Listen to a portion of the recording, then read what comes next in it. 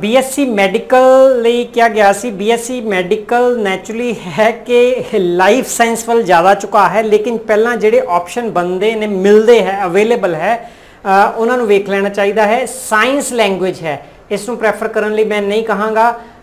Life science physical science ਹੈ।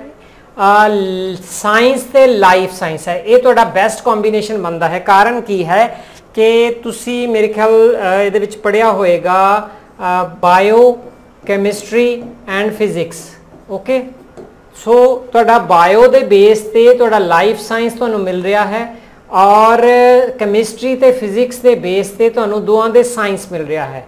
Government job ਲਈ ਤੁਸੀਂ ਇਹਦੇ ਸਾਇੰਸ ਦਾ ਜਦੋਂ ਲੈਂਦੇ ਹੋ, ਤਾਂ ਤੁਸੀਂ ਗਵਰਨਮੈਂਟ ਜੌਬ TGT ਲਈ ਡਾਇਰੈਕਟਲੀ ਐਲੀਜੀਬਲ ਹੋ।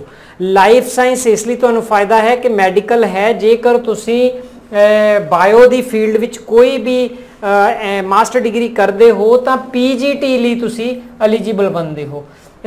ਪਹਿਲਾਂ ਤੁਹਾਨੂੰ ਇਹੀ ਸੋਚਣਾ ਚਾਹੀਦਾ ਹੈ ਜਿਹੜੇ ਮੈਡੀਕਲ ਬੀਐਸਸੀ ਮੈਡੀਕਲ ਵਾਲੇ ਹੈ ਸਾਇੰਸ ਤੇ ਲਾਈਫ ਸਾਇੰਸ ਕਿਉਂਕਿ ਦੋਨੋਂ ਤੁਹਾਡੇ ਸਾਇੰਸ ਦੇ ਫੀਲਡ ਹਨ।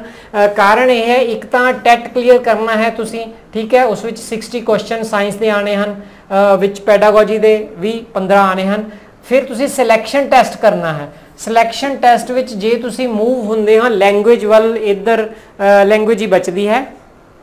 ਤਾਂ ਤੁਹਾਨੂੰ ਨੈਚੁਰਲੀ ਕਿ ਸਾਇੰਸ ਸਟਰੀਮ ਹੈ, ਉਧਰ ਥੋੜੀ ਮਿਹਨਤ ਜ਼ਿਆਦਾ ਕਰਨੀ ਪਏਗੀ, ਤਾਂ ਲੈਂਗੁਏਜ ਕੰਪੀਟ ਕਰ ਪਾਓਗੇ। ਪਰ ਜੇ ਤੁਹਾਨੂੰ ਲੱਗਦਾ ਹੈ ਕਿ ਲੈਂਗੁਏਜ ਵਿੱਚ ਤੁਸੀਂ ਬੈਟਰ ਹੋ, ਤਾਂ ਤੁਹਾਨੂੰ ਸਾਇੰਸ ਦੇ ਨਾਲ ਲੈਂਗੁਏਜ ਲੈਣਾ ਚਾਹੀਦਾ ਹੈ। ਅਦਰਵਾਈਜ਼ ਸਾਇੰਸ ਤੇ ਲਾਈਫ ਸਾਇੰਸ ਹੀ ਪ੍ਰੈਫਰ ਕਰਨਾ ਚਾਹੀਦਾ ਹੈ। ਇਸ ਲਈ ਤੁਹਾਨੂੰ ਦੋ ਚੀਜ਼ਾਂ ਕੇ ਫॉर ਨੌਲੇਜ ਆਪਣੀ ਦੇਖਣੀ ਪਏਗੀ ਔਰ ਆਈ ਫॉर ਇੰਟਰਸਟ ਦੇਖਣਾ ਪਏਗਾ ਕਿ ਮੇਰਾ ਕਿਹਦੇ ਵਿੱਚ ਹੈ ਲੈਂਗੁਏਜ ਜਾਂ ਸਾਇੰਸ ਵਿੱਚ। ਸੋ ਪ੍ਰੈਫਰ ਤੁਹਾਡਾ ਬੰਦਾ ਹੈ ਸਾਇੰਸ ਤੇ ਲਾਈਫ ਸਾਇੰਸ ਲੇਕਿਨ ਕਈ ਹਾਲਾਤਾਂ ਵਿੱਚ ਜਿਹੜੇ ਹੈ, ਤੁਸੀਂ ਆਲਰੇਡੀ ਐਮਐਸਸੀ ਕੀਤੀ ਹੋਈ ਹੈ। ਉਦੋਂ ਕੀਤੀ ਹੋਈ ਹੈ ਤਾਂ ਕੰਬੀਨੇਸ਼ਨ ਵੱਧ ਜਾਂਦੇ ਨੇ। ਜੇ ਤੁਸੀਂ ਬਾਇਓ ਵਿੱਚ ਘੱਟ ਇੰਟਰਸਟਡ ਹੋ ਫਿਜ਼ੀਕਲ ਸਾਇੰਸ 'ਚ ਜ਼ਿਆਦਾ ਇੰਟਰਸਟਡ ਹੋ, ਤਾਂ ਇਸ ਦੇ ਇਕੁਅਲੀ ਹੀ ਸਾਇੰਸ ਤੇ ਫਿਜ਼ੀਕਲ ਸਾਇੰਸ ਦਾ ਦੂਸਰਾ ਕੰਬੀਨੇਸ਼ਨ ਹੈ। 2 ਤੇ 5 ਨੰਬਰ ਇਹ ਤੁਹਾਡੇ ਬੈਸਟ ਕੰਬੀਨੇਸ਼ਨ ਬਣਦੇ ਨੇ। ਇਹ ਤਾਂ ਹੈ ਫਿਜ਼ੀਕਲ ਸਾਇੰਸ ਲੈਣਾ ਕਿ ਤੁਸੀਂ ਕੈਮਿਸਟਰੀ ਵਿੱਚ ਜਾਂ ਫਿਜ਼ਿਕਸ ਵਿੱਚ ਜਾਂ ਫਿਜ਼ੀਕਲ ਸਾਇੰਸ ਕਿਸੇ ਵਿੱਚ ਵੀ ਐਮਐਸਸੀ ਕਰਨਾ ਚਾਹੁੰਦੇ ਹੋ। ਅ, ਇਸ ਨੂੰ ਜ਼ਰੂਰ ਯਾਦ ਰੱਖਣਾ ਹੈ। ਜੇ ਇਧਰ ਐਮਐਸਸੀ ਕਰਨਾ ਚਾਹੁੰਦੇ ਹੋ ਤਾਂ ਇਹ ਦੋ ਵਾਲਾ ਨਹੀਂ ਤੁਸੀਂ ਪ੍ਰੈਫਰ ਕਰੋਗੇ। ਇਹ- ਇਹਦੀ ਜਗ੍ਹਾ ਤੇ ਤੁਸੀਂ ਇਸ ਨੂੰ ਪ੍ਰੈਫਰ ਕਰੋਗੇ। 5 ਨੰਬਰ ਸਾਇੰਸ ਤੇ ਫਿਜ਼ੀਕਲ ਸਾਇੰਸ ਹੁਣ ਇਹਨਾਂ ਵਿੱਚੋਂ ਵੀਕ ਕੰਬੀਨੇਸ਼ਨ ਕਿਉਂ ਇਹ ਬਾਕੀ ਬੰਦੇ ਨੇ ਉਹ ਦੱਸ ਦਵਾਂ ਕਿ ਲਾਈਫ ਸਾਇੰਸ ਤੇ ਲੈਂਗੁਏਜ ਹੈ, ਤੁਸੀਂ ਤੁਹਾਡੀਆਂ ਕੈਮਿਸਟਰੀ ਤੇ ਫਿਜ਼ਿਕਸ ਦਾ ਬੈਨੀਫਿਟ ਤੁਹਾਨੂੰ ਨਹੀਂ ਮਿਲ ਰਿਹਾ ਲੈਂਗੁਏਜ ਲਈ ਤੁਹਾਨੂੰ ਐਡੀਸ਼ਨਲ ਪੇਪਰ ਦੇਣਾ ਪਏਗਾ। ਫੋਰ ਐਗਜ਼ਾਮਪਲ ਤੁਸੀਂ ਲਾਈਫ ਸਾਇੰਸ ਤੇ ਇੰਗਲਿਸ਼ ਲੈ ਗਿਆ ਤੁਹਾਨੂੰ ਬੀਏ ਦਾ ਐਡੀਸ਼ਨਲ ਪੇਪਰ ਦੇਣਾ ਪਏਗਾ 3 ਸਾਲਾਂ ਦਾ। ਔਰ ਇਸ ਤੋਂ ਬਾਅਦ ਤੁਸੀਂ ਐਲੀਜੀਬਲ ਹੋਵੋਗੇ ਟੀਚਿੰਗ ਆਫ ਇੰਗਲਿਸ਼ ਲਈ ਟੀਚਿੰਗ ਆਫ ਪੰਜਾਬੀ, ਜਿਹੜੀ ਵੀ ਤੁਸੀਂ ਬੀਐਡ ਵਿੱਚ ਕਰਦੇ ਹੋ। ਇਸੇ ਤਰ੍ਹਾਂ ਜਿਸ ਤਰ੍ਹਾਂ ਲਾਈਫ ਸਾਇੰਸ ਦੱਸਿਆ ਹੈ, ਇਸੇ ਤਰ੍ਹਾਂ ਫਿਜ਼ੀਕਲ ਸਾਇੰਸ ਹੈ। ਦੂਸਰਾ ਲਾਈਫ ਸਾਇੰਸ ਤੁਸੀਂ ਰੱਖ ਕੇ ਲੈਂਗੁਏਜ ਦਾ ਵੀ ਐਡੀਸ਼ਨਲ ਕਰਨਾ ਪਏਗਾ ਔਰ ਇਸ ਦੀ ਵੀ ਐਮਐਸਸੀ ਕਰਕੇ ਤੋਂ ਬਾਅਦ ਹੀ ਤੁਸੀਂ ਸਿਰਫ ਪੀਜੀਟੀ ਲਈ ਐਲੀਜੀਬਲ ਹੋ ਜਾਓਗੇ। ਇੱਥੇ ਤੁਸੀਂ ਸਾਇੰਸ ਲਈ ਟੀਜੀਟੀ ਲਈ ਐਲੀਜੀਬਲ ਹੋ ਰਹੇ ਹੋ। ਇੱਥੇ ਵੀ ਸਾਇੰਸ ਲਈ ਟੀਜੀਟੀ ਲਈ ਐਲੀਜੀਬਲ ਹੋ ਰਹੇ ਹੋ। ਇੱਥੇ ਸਾਇੰਸ ਲੈਂਗੁਏਜ ਤਾਂ ਟੀਜੀਟੀ ਲਈ ਐਲੀਜੀਬਲ ਹੋ ਰਹੇ ਹੋ, ਲੇਕਿਨ ਦੂਸਰੀ ਲੈਂਗੁਏਜ ਦਾ ਤੁਹਾਨੂੰ ਐਡੀਸ਼ਨਲ ਦੇਣਾ ਪੈ ਰਿਹਾ ਹੈ। ਸੋ ਪਹਿਲੇ ਰੈਂਕ ਤੇ ਇਹ ਦੋ ਆ ਰਹੇ ਨੇ, ਦੂਸਰੇ ਰੈਂਕ ਤੇ ਇਹ ਨੰਬਰ 1 ਆ ਰਿਹਾ ਹੈ। ਤੀਸਰੇ ਰੈਂਕ ਤੇ ਕੰਬੀਨੇਸ਼ਨ ਤੁਹਾਡਾ ਆ ਰਿਹਾ ਹੈ, ਜੇ ਤੁਸੀਂ ਐਮਐਸਸੀ ਕਰਨਾ ਚਾਹੁੰਦੇ ਹੋ ਇਹਨਾਂ ਦੋਨਾਂ ਦੀ ਹੀ, ਹਨਾ? ਲਾਈਫ ਸਾਇੰਸ ਤੇ ਫਿਜ਼ੀਕਲ ਸਾਇੰਸ ਇਸ ਦੀ ਐਮਐਸਸੀ ਕਰਦੇ ਹੋ, ਫਿਰ ਪੀਜੀਟੀ ਇਹਨਾਂ ਇਹਦੇ ਲਈ ਪੀਜੀਟੀ ਇਹਦੇ ਲਈ ਤਾਂ ਤੁਸੀਂ ਐਲੀਜੀਬਲ ਹੁੰਦੇ ਹੋ। ਦੋ ਐਮਐਸਸੀ ਇਹ ਪਿੱਛੇ ਜਾ ਰਿਹਾ ਹੈ ਨੋ ਡਾਊਟ ਸੋ ਇਹਦੇ ਇਕੁਅਲੀ ਹੀ ਸੌਰੀ ਇਹਦੇ ਇਕੁਅਲ ਹਾਂ ਇਹ ਆ ਗਿਆ। ਲਾਈਫ ਸਾਇੰਸ ਤੇ ਫਿਜ਼ੀਕਲ ਸਾਇੰਸ ਲੈਂਗੁਏਜ ਇਹ ਸਭ ਤੋਂ ਪਿੱਛੇ ਜਾ ਰਹੇ ਨੇ, ਕਿਉਂਕਿ ਇੱਧਰ ਵੀ ਐਡੀਸ਼ਨਲ ਕਰਨਾ ਪੈ ਰਿਹਾ ਹੈ, ਇੱਧਰ ਵੀ ਮਾਸਟਰ ਡਿਗਰੀ ਕਰਨੀ ਪੈ ਰਹੀ ਹੈ ਔਰ ਸਿਰਫ ਪੀਜੀਟੀ ਲਈ ਐਲੀਜੀਬਲ ਹੋ ਰਹੇ ਹੋ, ਇਹ ਟੀਜੀਟੀ ਲਈ ਐਲੀਜੀਬਲ ਬੇਸ਼ੱਕ ਹੋ ਰਹੇ ਹੋ ਲੈਂਗੁਏਜ ਦੇ ਨਾਲ, ਪਰ ਇਹ ਬਾਅਦ ਵਿੱਚ ਹੋ ਰਹੇ ਹੋ ਬੀਐਡ ਕਰਨ ਦੇ ਇਮੀਡੀਏਟ ਬਾਅਦ ਨਹੀਂ ਹੈ। ਇੱਥੇ ਬੈਨੀਫਿਟ ਇਸੇ ਲਈ ਬੈਸਟ ਇਹਨੂੰ ਕੱਢਿਆ ਗਿਆ ਹੈ ਕਿ ਬੀਐਡ ਦਾ ਇੱਥੋਂ ਸ਼ੁਰੂ ਹੋਈ, ਇੱਥੇ ਐਂਡ ਹੋਇਆ, ਨਾਲ ਹੀ ਤੁਸੀਂ ਐਲੀਜੀਬਲ ਹਾਂ ਟੀਜੀਟੀ ਸਾਇੰਸ ਲਈ ਲਾਈਫ ਸਾਇੰਸ ਲਈ।